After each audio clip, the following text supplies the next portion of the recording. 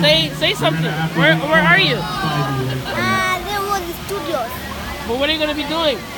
I'm gonna go on white and it's gonna be scary and then it's gonna it's called Halloween Horror Night and then Halloween Horror Night that you go to scary white but they don't touch you.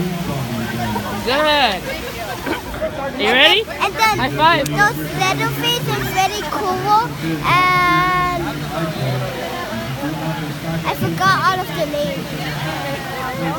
right, you ready? Yeah. And you're not scared, right? No. You sure? You're scared.